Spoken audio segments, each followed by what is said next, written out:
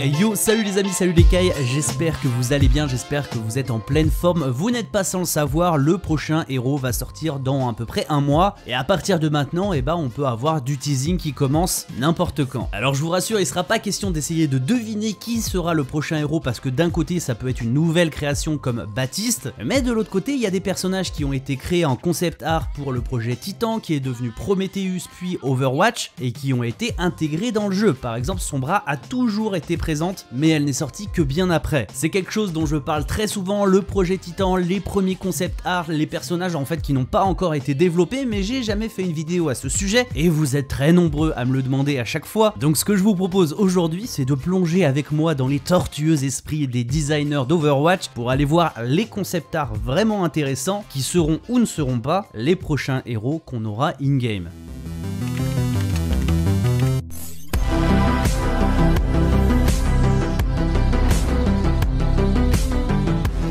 Bon alors vous le verrez, il y a des héros qui semblent beaucoup plus probables que d'autres, donc je passerai plus de temps sur eux. Et après cette intro beaucoup trop longue, on va parler d'un personnage, probablement un tank extrêmement mystérieux, mais surtout présent, car oui, euh, il est vraiment partout, et c'est pour ça que je pense que c'est un des personnages qui a le plus de chances d'être en développement un de ces quatre, si ce n'est pas déjà le cas. Déjà, il est sur la planche de base, c'est ce héros euh, coupé euh, du projet Titan, donc c'est le truc le plus ancien, c'est sa première apparition chronologique parlant. Ensuite, quand le projet Titan se transforme en Prometheus, il est en plein milieu, encore une fois, donc ça veut dire que le concept n'a pas été abandonné. Quand Prometheus avance pour devenir Overwatch, il est encore présent, aux côtés d'énormément de personnages qu'on connaît hein, déjà, qui sont sortis. C'est-à-dire que ce concept ne s'est pas transformé par exemple en Reinhardt, ce qui aurait été euh, possible totalement. Et en plus, on le retrouve dans la cinématique Recall d'Overwatch au début, quand Winston appelle, rappelle au service les anciens ancien agent d'Overwatch. Et pour terminer, même si c'est avant, dans la cinématique avec le vol du gant de Doomfist, je suis prêt à mettre ma main au feu que c'est bel et bien son armure qu'on voit derrière parce qu'il y a énormément de ressemblances. Il y a même un deuxième modèle tout au fond qu'on peut voir mais vraiment pendant quelques secondes qui pourrait faire penser aussi à lui. Alors attention, hein, la taille, les proportions ne sont pas les bonnes, ce sont des statues. Mais quand on regarde ses pieds, on voit des pieds cramponnés, ce qui n'est pas le cas de Reinhardt mais bel et bien de ce personnage. Inutile de préciser que ce sera probablement un tank, et j'ai même presque envie de dire un main tank qui fait quasiment la même taille que Reinhardt. Et dernièrement, beaucoup de personnes s'imaginent qu'il pourrait s'agir de Seismo. Seismo, c'est le nom d'un des héros donné par l'enfant dans la cinématique au musée. Cependant, je trouverais ça quand même assez bizarre, étant persuadé que la statue c'est bel et bien ce héros. J'imagine un peu mal l'enfant s'émerveiller avec les yeux qui brillent en parlant de Seismo sans même le voir admirer sa statue qui est à quelques mètres de lui. L'avenir nous le dira.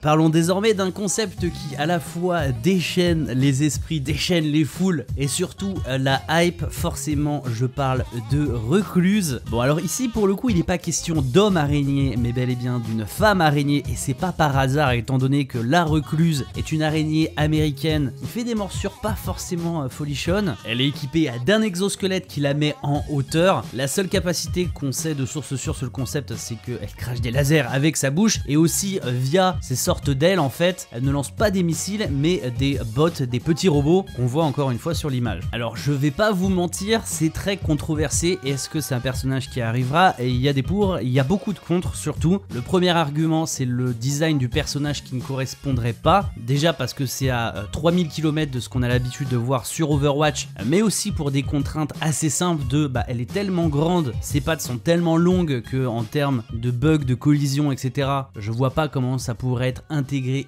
in-game, sauf si sa taille est considérablement réduite et ça c'est totalement possible. Et le deuxième argument qui est plutôt vrai mais finalement qui est ultra facilement contrable, c'est que le perso est ultra sexualisé, c'est pas forcément euh, dans la politique de Blizzard, mais bon c'est un concept art et un skin ça peut se faire très très rapidement. Je trouve que c'est un personnage qui a tellement de charisme et forcément elle intégrait un personnage vraiment mauvais et vraiment méchant, là où finalement les personnages qu'on a actuellement chez Talon le sont pas tant que ça, il n'y a pas vraiment de protagoniste 100% 100% mauvais. Je veux dire, ils ont tous un, background qui fait qu'on est un peu attendri. Bah, Widow avant, c'était euh, voilà Amélie. Faucheur qui est très méchant, bah, il a quand même morflé comme pas possible. Et sa transformation, il en est pas forcément ultra content. Donc, un vrai personnage d'arc, ça serait bien. Et pour terminer avec elle, je voudrais juste rajouter quelque chose. Et ça va nous servir de transition. Papa Jeff, dans une interview très récente avec Imong, a raconté qu'il y avait vraiment que deux personnages ultra excentriques. Le premier, c'était Amond qui est sorti. Et le deuxième, dont on va parler juste après, c'est Mama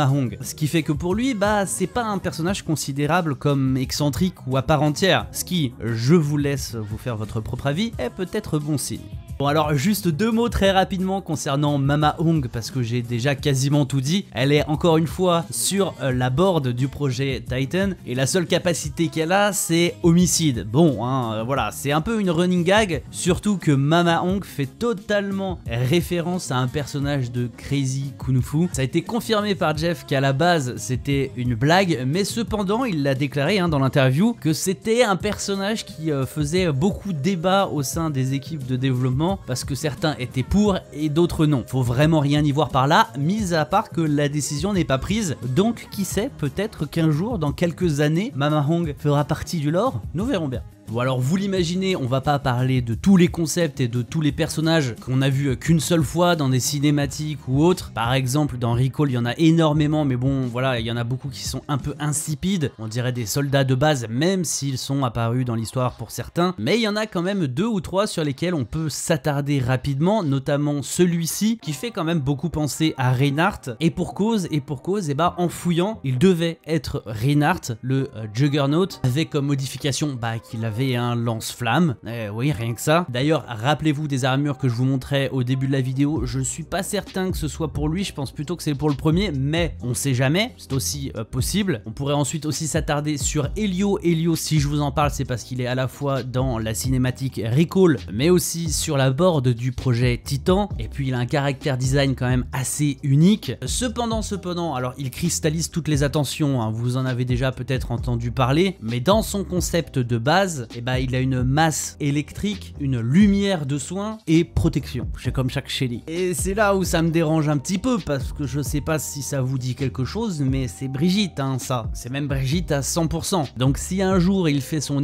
in-game, vous pouvez être sûr et certain qu'il sera mais à des kilomètres et des kilomètres de son concept initial. Mais notez quand même que à la fois il a des ailes, donc peut-être personnage volant, mais bon, healer et volant, je pense plus à Echo qu'autre chose. Et aussi que sa visière bleue fait bizarre rappeler la technologie Vishkar. Ensuite, il y a rapidement deux héros dont j'aimerais vous parler pour la simple et bonne raison qu'on les retrouve plusieurs fois eux aussi. On a à la fois celui-ci avec sa mâchoire en acier qui ne sera pas sans vous rappeler cette personne de la cinématique Recall. Même coupe de cheveux quand même assez atypique et mâchoire en acier, je pense pas qu'on puisse se tromper. Cependant, je me pose quand même la question du design sur l'image de groupe où on est plus sur quelque chose d'assez badass et pas forcément sympa avec plein d'augmentations cybernétiques et de tubes qui rentrent par-ci et par-là. Un agent d'Overwatch blessé en mission, bah peut-être bien. Et je vous disais deux personnages, et bah concernant le deuxième, il s'agit de la personne juste à côté de lui, Huntress. Et si je l'appelle comme ça, c'est parce que elle aussi est encore présente sur les concept art de Titan avec sa crossbow, donc son arbalète, un tir multiple qui peut faire penser à Hanzo et un tir chargé, un tir imprégné qui ferait potentiellement beaucoup plus de dommages. Après, on sait que le concept de base de Hanzo était celui de Genji où il possédait un katana et un arc, donc c'est totalement imaginable d'avoir une arbalète qui, je le rappelle, met plus longtemps à recharger mais en général fait plus de dégâts qu'un arc dans les jeux. J'aimerais désormais vous parler d'une ressemblance dont je me suis aperçu en faisant cette vidéo qui est assez troublante entre ces deux images. Bon, je zoome un peu parce que sinon ça risque d'être galère pour vous, mais est-ce qu'il n'y aurait pas une ressemblance assez flagrante entre ces deux personnes, exactement la même coupe de cheveux et un serre-tête. Est-ce que vous savez qui c'est, hein?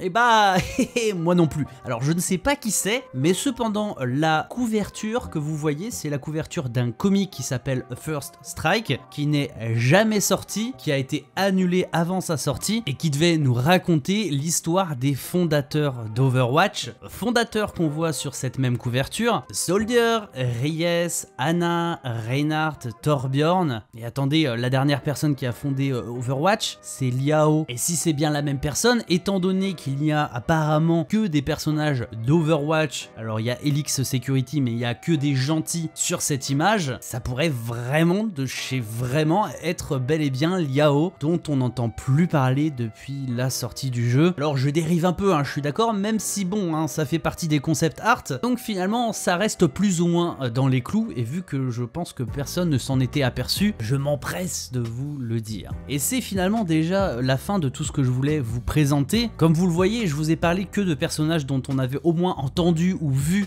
deux fois la figure, parce que sinon on pourrait en parler euh, des heures, hein. il y a des concepts comme euh, Psyblade que j'adorerais avoir, qui a l'air juste incroyable, mais bon, si je vous en parle pendant 1h30, vous allez commencer à parler javanais. En tout cas, je suis très curieux d'avoir votre avis sur tous ces concepts, si vous avez des avis tranchés, si vous pensez que certains héros arriveront, d'autres non. Jeudi, je vous sors une vidéo, normalement jeudi, euh, assez exceptionnelle, vous verrez, quand je dis ça, je pèse mes mots, c'est concernant concernant Overwatch, et vous verrez, ça risque d'être intéressant, j'arrête de vous teaser, et je vous souhaite une incroyable journée, une incroyable soirée, à la prochaine les amis, et surtout à la prochaine écaille.